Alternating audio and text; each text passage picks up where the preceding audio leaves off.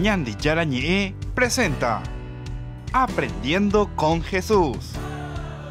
Enseñamos la palabra de Dios a los más pequeños de la casa. Conduce el Padre Víctor Luis Cabañas. Aprendiendo con Jesús. Bienvenidos. Hola, hola, hola niños. Estamos comenzando nuestro programa Aprendiendo con Jesús.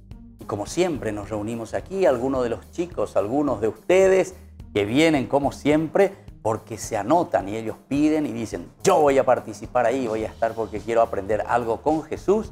Y sobre todo también, queridos niños, porque todo lo que nosotros sabemos, nosotros también compartimos con otros compañeritos y compartimos también con nuestra familia. Hoy entonces, queridos chicos, como siempre, estamos en la presencia de una hermosa niña que viene, ella misma se va a presentar ya aquí. Hola, ¿qué tal? ¿Cómo te llamas? Eh, presentate un poco aquí a todos los niñitos y compañeritos tuyos y también seguramente tu mamá, tu papá te están viendo ahí. Julieta González Rey. Julieta González Rey. ¿Cuántos añitos tenés, Julieta? 11. 11 años. Bueno, ¿y dónde estás entrando en la escuela y qué grado ya estás, Julieta? Yo estoy en sexto. En el sexto grado. ¿Y vos sos estudiosa? Ah, bueno, voy a preguntarle a tu maestra. ¿Cómo se llama entonces tu escuela? Papa Francisco. Papa Francisco. ¿Y dónde está tu escuela? ¿Dónde queda, Julieta? La escuela Papa Francisco para que los niños también puedan ir a visitarte en la escuela Papa Francisco. En Bacio. Bacio, muy bien, en Lambaré, entonces está cerca del ya. Muy bien, entonces estamos hoy con Julieta y nosotros queremos aprender siempre con Jesús. Julieta, decime un poquitito, ¿qué es lo que a vos te gusta más eh, hacer en la escuela? ¿Qué es lo que a vos más te llama la atención con tus compañeritos? ¿Te gusta ir a la escuela a vos? Sí, mucho. ¿Eh? ¿Mucho? ¿Y qué es lo que más te gusta hacer en la escuela? Eh, ¿Te gusta alguna materia especial? ¿Matemática? ¿O ciencias naturales? ¿O música? ¿O educación física? educación física. educación física. ¿Y por qué, Pío? ¿Por qué no se estudia ahí? ¿O por qué? porque solemos practicar gimnasia. ¿Ah, sí? ¿Te gusta la gimnasia?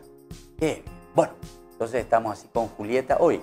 Y yo a ustedes, queridos niños, díganle ahí a su mamita, a su papito también, que les traiga ya y tengan su Biblia, así como nosotros tenemos nuestra Biblia, tenemos nuestra Biblia. Hoy Julieta nos va a leer un pasaje tan lindo como siempre hacemos nosotros, ¿verdad? De la palabra de Dios. Y ahí vamos a leer hoy de San Lucas. ¿eh? San Lucas vamos a leer el capítulo, a ver un poquitito, que nos toca hoy el capítulo 11 del 29 al 32. Entonces, queridos papás, queridos niños, pueden traer su Biblia, tengan aquí durante nuestro programa y así vamos a leer enseguida. Vuelvo a repetir y está también ahí en la pantalla. Entonces, Lucas, el capítulo 11, aprendan a buscar en la Biblia y vamos a leer los versículos 29 y 32. Y así entonces nosotros hoy en nuestro programa con la presencia de Julieta que tiene, nos dijo, ¿cuántos años? 11. 11 años.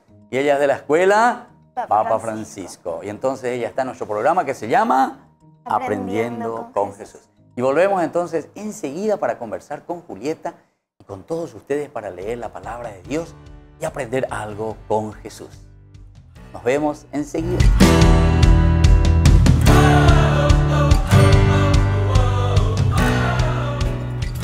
Ayúdanos a sostener este espacio de evangelización. Depende de vos que esta evangelización siga a través de los medios de comunicación. Mensualmente podés abonar a esta cuenta bancaria y también a los giros Tigo. Recordá, este espacio es para vos. Muchas gracias por tu aporte. Se llega el verano y también el calor. No te podés quedar sin el termo forrado en cuero de Ñande Yarañe. Pedilo ya mismo al número que figura en la pantalla. Con la compra de los termos estarás ayudando a sostener la evangelización a través de los medios de comunicación.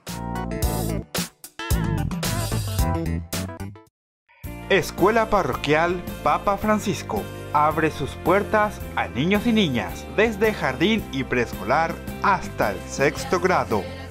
Con el firme compromiso de la formación integral del estudiante, impregnando valores cristianos.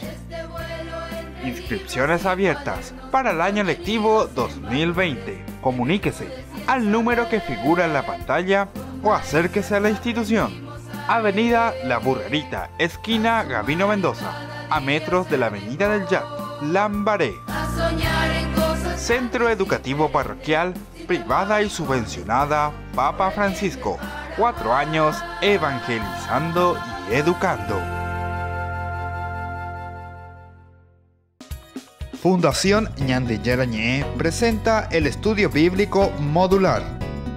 Todos los lunes, estudio de temas bíblicos de 20 a 21 horas. Sábados, estudio de capítulos bíblicos de 8.30 a 9.30 horas. Animador, Padre Víctor Luis Cabañas, doctor en Biblia. Te esperamos en la Casa de las Hermanas Vicentinas, Jejuí 1059 Casi Colón. Para más información, comunicarse al 0981 50 50 36. Estudio Bíblico Modular Ñandi Yarañe.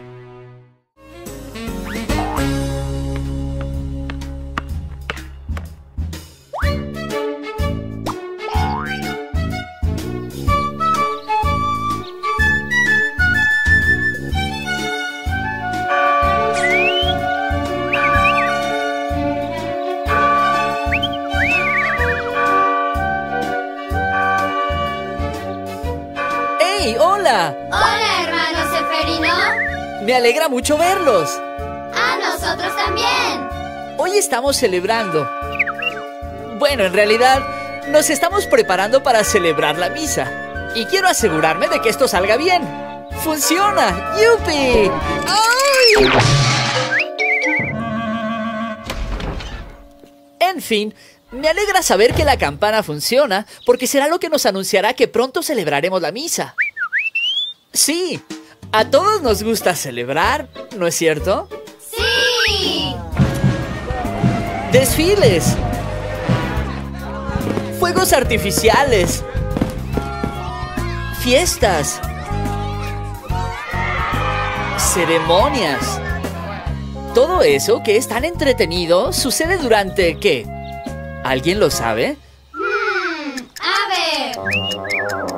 Sigan pensando. Mm. Ah, ya sé. Los días festivos. Muy bien, los días feriados. ¿Qué es un día festivo? Días festivos son aquellos en los que celebramos eventos importantes de la historia. Mm, aunque ahora que lo pienso, festivo suena a fiesta. Todos los países del mundo tienen sus días de fiesta. ¿Y sabían que el pueblo de Dios también tiene sus días festivos? Claro que sí, y es porque tenemos mucho que celebrar. En realidad, no tenemos que esperar esos días especiales para celebrar una de las cosas más importantes de nuestra fe. Podemos celebrarla todos los días, y algunas personas lo hacen. Así es, como hijos de Dios, celebramos uno de los eventos más importantes de toda la historia. Aunque los días festivos son muy divertidos, ¿alguna vez les pasó algo así? Hace demasiado calor aquí. Pero si estamos a la sombra, y además mira qué bonito desfile. Estamos celebrando un acontecimiento histórico muy importante. Tengo calor y quiero ir a nadar. ¿O esto? ¡Qué bonitos fuegos artificiales! ¿No? Puede ser, pero no quería un hot dog, quería una hamburguesa. ¿O esto? Me encanta celebrar acción de gracias. ¡Ey! ¿Y por qué a él le sirvieron una porción más grande? Hmm. Veamos qué es lo que falló aquí. Lo que sucede es que a veces nos olvidamos de lo que estamos celebrando y de que en realidad no se trata solamente de nosotros, se trata de personas que hicieron algo especial para que tu vida y la mía mejoraran. Y en algunos casos, ese algo les costó mucho. Es sobre esos héroes, esas personas que pensaron más en los demás que en sí mismas. Qué lamentable es que nos olvidemos de eso con tanta facilidad. Por eso siempre es importante recordar el verdadero sentido de las fiestas que celebramos. ¿No les parece? Lo mismo puede sucedernos cuando los que somos católicos asistimos a nuestra celebración, la misa. Si no tenemos presente lo que celebramos, Genial, solo faltan 20 minutos para que empiece el partido de fútbol. o cuando no entendemos la ceremonia, De pie, sentarse, arrodillarse. Ojalá entendiera para qué hago todo esto. si no nos recordamos a nosotros mismos de qué trata la misa o no entendemos para qué estamos ahí, podemos distraernos. La misa no es solo una ceremonia ni una celebración. La misa se trata de alguien. No, no el coro. O tus amigos. O tu papá. La misa es sobre nuestro héroe. Es que Jesús no es solo nuestro Salvador, sino también nuestro héroe. Al igual que tantos soldados que van a la guerra a luchar por sus seres queridos, Jesús hizo lo mismo. Tuvo que dejar a su Padre en el cielo para venir aquí y sacrificar su vida por ti y por mí. Y aunque murió en la cruz, regresó a la vida y ahora vive y reina como nuestro Rey por los siglos de los siglos. Eso es lo que celebramos en la misa. Y así como nos comportamos de bien cuando estamos frente a una persona importante, como un presidente o una reina, nos portamos aún mejor cuando estamos en presencia del Rey de todo el universo. En misa, nos ponemos de pie y nos arrodillamos en señal de reverencia. Es para ayudar a que nuestro corazón y nuestra mente acompañen a nuestros gestos. ¿Por qué? Porque amamos a Jesús. La misa nos mantiene vivos espiritualmente. Se celebra principalmente en la iglesia, pero en algunas ocasiones se ha celebrado en otros lugares, incluso en un jeep en tiempos de guerra. Pero donde sea que se celebre, la misa siempre se celebra con respeto. Es una celebración, solo que no es una celebración ruidosa. Se centra en Jesús, que dijo, Hagan esto en memoria de mí. entrando a la casa de Dios. Cuando entran a una iglesia a celebrar la misa, empiecen a pensar a dónde se dirigen y con quién estarán. Con Jesús. Entren en silencio, santifíquense con agua bendita para recordar su bautismo y cuando ya estén en la banca, pónganse de rodillas para mostrar respeto. Recuerden a quién están saludando, a Jesús, el Rey de todo el universo. Luego siéntense en silencio, pensando en Él y háblenle en su interior. En la banca es posible que encuentren un misal que los ayudará a seguir la misa. Y recuerden, durante la misa Jesús estará presente, al igual que los ángeles y los santos, aunque no puedan verlos. La misa se divide en dos partes principales. La primera parte se llama la liturgia de la palabra. ¿Pueden repetirlo? Liturgia de la palabra. ¡Excelente! Liturgia es una palabra difícil, ¿no? Viene del griego y significa servicio.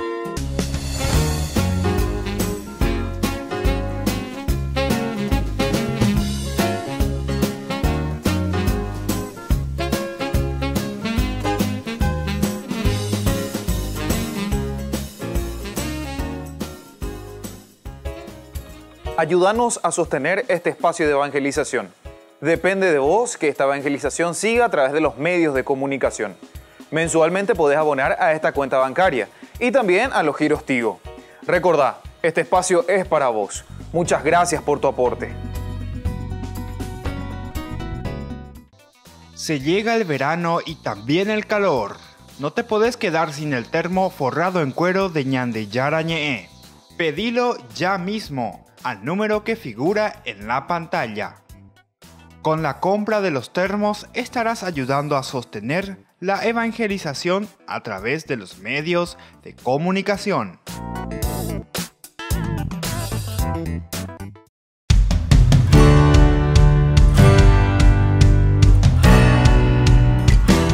Y estamos volviendo con Aprendiendo con Jesús. Y hoy está con nosotros Julieta. Ella nos dice que tiene 11 años y viene de la escuela Papa Francisco. Y vamos a conversar, pero primero, queridos chicos, espero que todos ustedes ya tengan ahí su Biblia. Vamos a escuchar lo que nos va a leer Julieta y después vamos a conversar un poco. Entonces, Julieta, vamos a leer así con mucha calma lo que nosotros ya le hemos dicho como ejercicio, ¿verdad? Cuando nos fuimos a la pausa, ustedes queridos papás y queridas mamás, para que sus hijos también aprendan a buscar la Biblia y sobre todo aprendamos con Jesús algunas lindas palabritas. Vamos a escucharte, Julieta. Léenos un poco. El signo de Jonás. Al ver Jesús que la multitud se apretujaba, comenzó a decir, Esta es una generación malvada. Pide un signo y no le será dado otro que el de Jonás. Así como Jonás fue un signo para los ninivitas, también el Hijo del Hombre lo será para esta generación.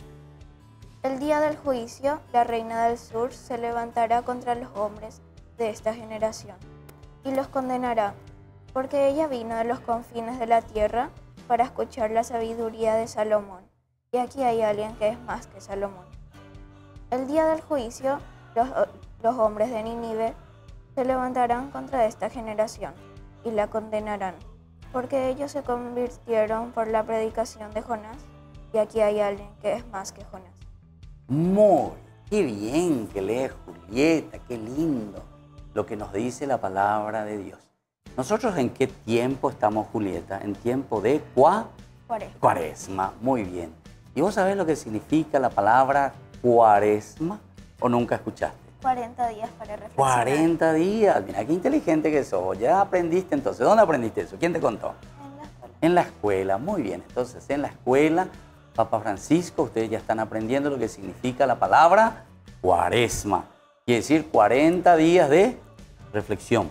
¿Y cuándo va a terminar entonces la cuaresma si son 40 días? ¿Hasta cuándo vamos a irnos? Eso sí que hoy vas a aprender con Jesús, ¿verdad? Entonces no te vas a más olvidar, Julieta. 40 días, queridos chicos, significa desde el miércoles de ceniza, miércoles de ceniza. ¿Recibiste la ceniza o no? Ah, sí, te pusieron en la frente, ¿verdad? La ceniza, que va hasta el miércoles de la Semana Santa.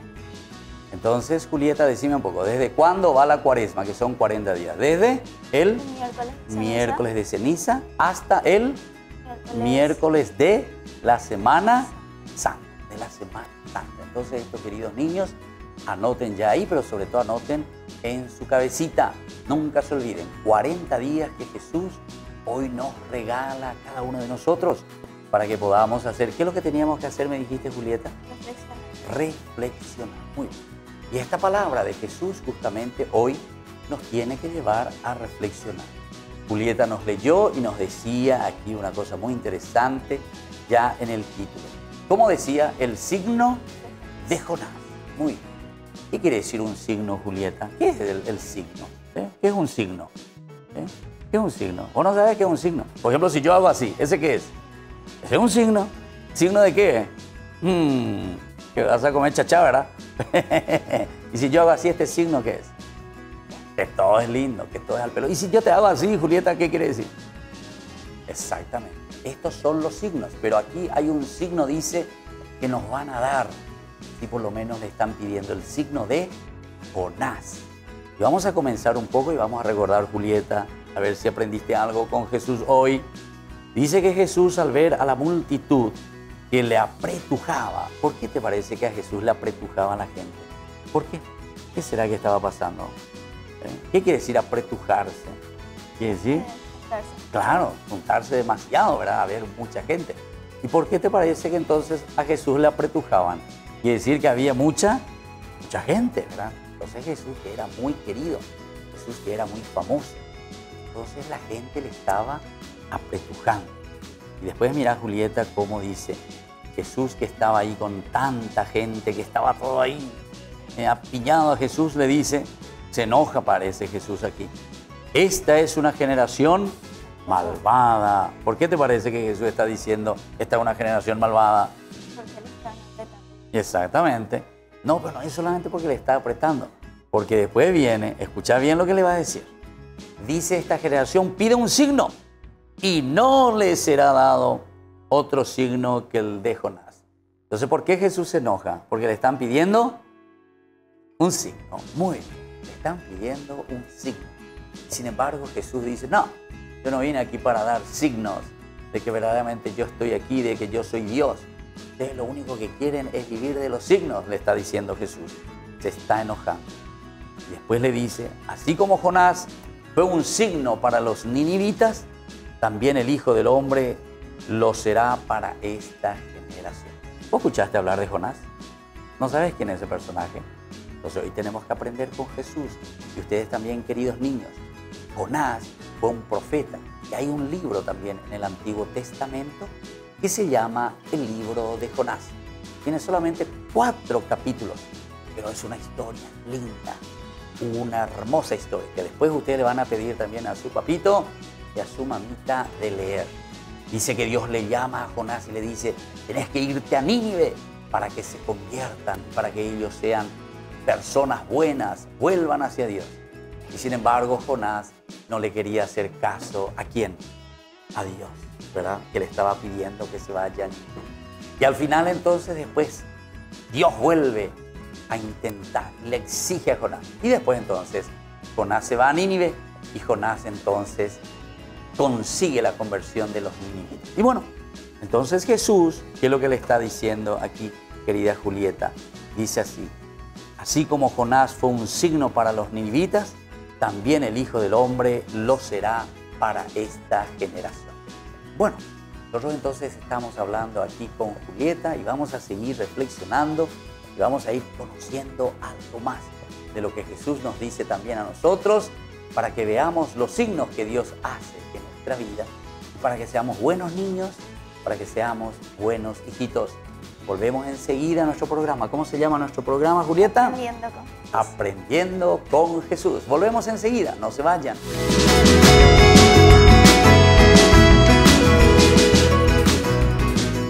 Escuela Parroquial Papa Francisco abre sus puertas a niños y niñas desde jardín y preescolar hasta el sexto grado.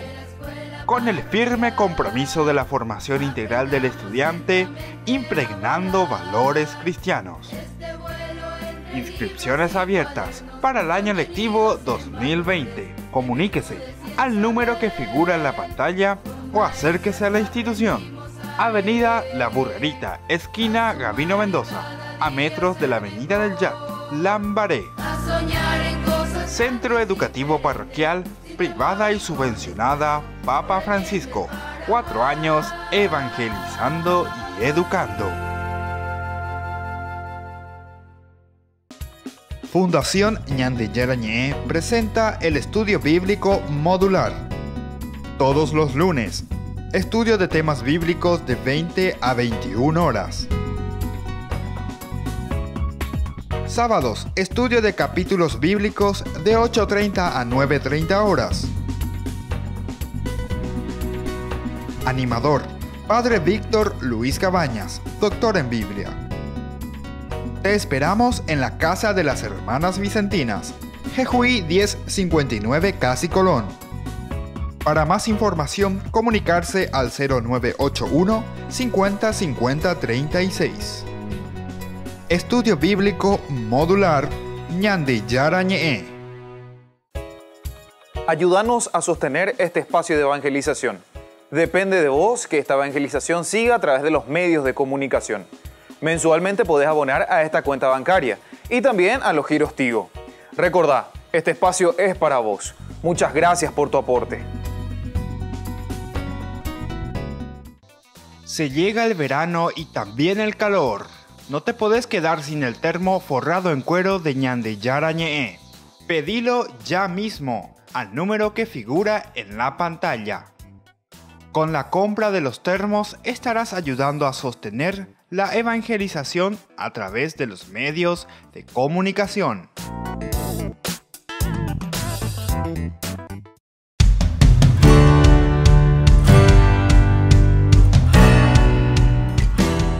Y seguimos con nuestro programa Niños, Niños, estamos volviendo. Hoy estamos con quién estamos hoy nosotros. ¿Cómo se llama nuestra compañerita?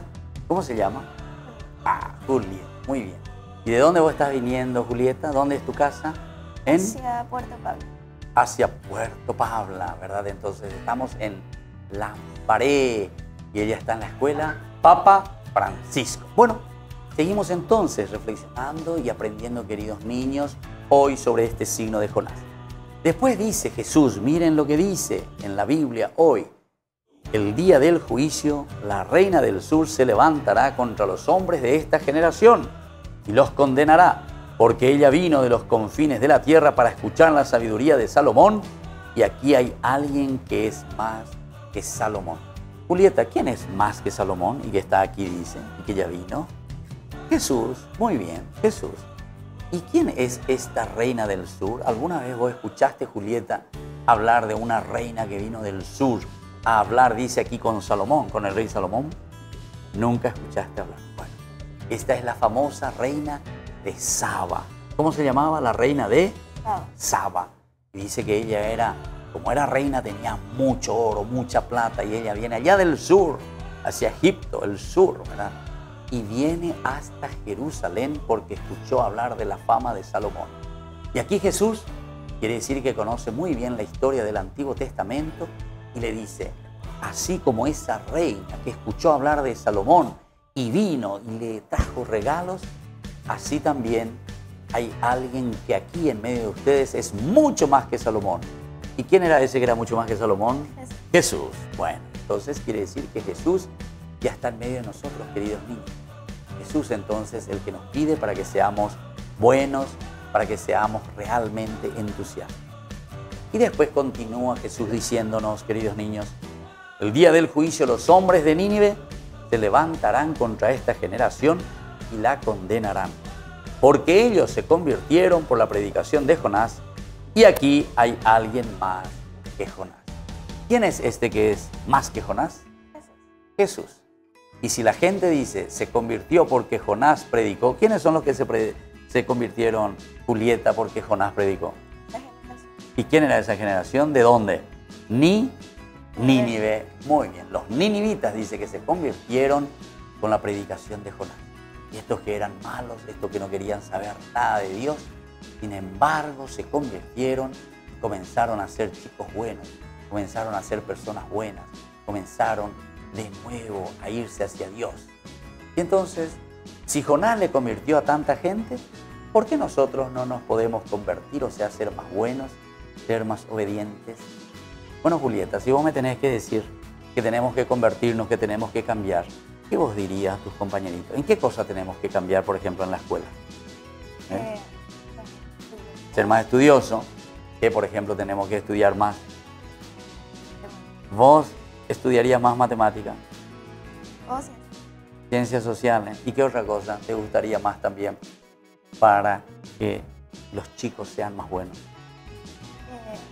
Eh, que respetemos a los compañeros. Respetemos a los compañeros. Muy bien. Entonces, ¿dónde? ¿En la clase?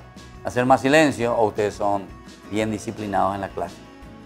No tanto, mm, no tanto, siempre medio macanean ahí, la profesora tiene que gritar, cállense niños, así bien, ¿eh? Más o menos. O son disciplinados, depende, ¿verdad? ¿Y, ¿Y, en educación física qué tal? ¿Son disciplinados? ¿A vos que te gusta la educación física? ¿A vos te gusta? Pero a algunos no les gusta. A, mí que gusta. a todos les gusta. Bueno, entonces así, queridos niños, y dice que con Jonás ellos fueron capaces de convertirse Aquí hay alguien mucho más querido niños, Jesús. Jesús nos pide en este tiempo de cuaresma 40 días de reflexión, nos decía recién Julieta, para que seamos buenos. Bueno, Julieta, decime porque ya vamos a ir terminando nuestro programa. Hemos aprendido algo con Jesús hoy. ¿A quién le querés mandar un saludito? Mandarle un poquitito un saludito a tus compañeros o a tu mamá o a quien vos quieras. A mi papá. ¿Cuántos hermanitos son ustedes, Julieta? Eh, yo soy Sos única, la única reina entonces. Bueno. Pero me llevo bien con mi prima Bianca. ¿Ah, sí? ¿Tenés primitas? Sí. Ya. ¿Y son de tu edad más o menos o son más grandes que vos? Eh, Mía es menor que yo, Bianca un poco mayor que yo. Entonces le mandas saludos a Mía, a Blanca, Bianca, Bianca, Bianca. hijas. Entonces, ellas son tus primitas y además de tu papá, de tu mamá y todos los compañeritos también de tu escuela. Y así entonces, queridos niños, hoy nosotros nos estamos despidiendo de ustedes. No se olviden, queridos niños, llamen, llamen, llamen al teléfono. ¿Cómo se hace? Así al teléfono. Ese numerito que aparece ahí en la pantalla para todos aquellos que quieran participar en Aprendiendo con Jesús. Mía, vamos a hacer un saludito y nos despedimos. Le decimos chau chau. ¿Vos no sabés hacer chau chau, Mía? ¿Eh? ¿Eh? Julieta, Julieta, yo ya me estaba confundiendo con tu prima y todo, ¿verdad? Bueno, Chaucito y hasta la próxima con Aprendiendo, con. Jesús.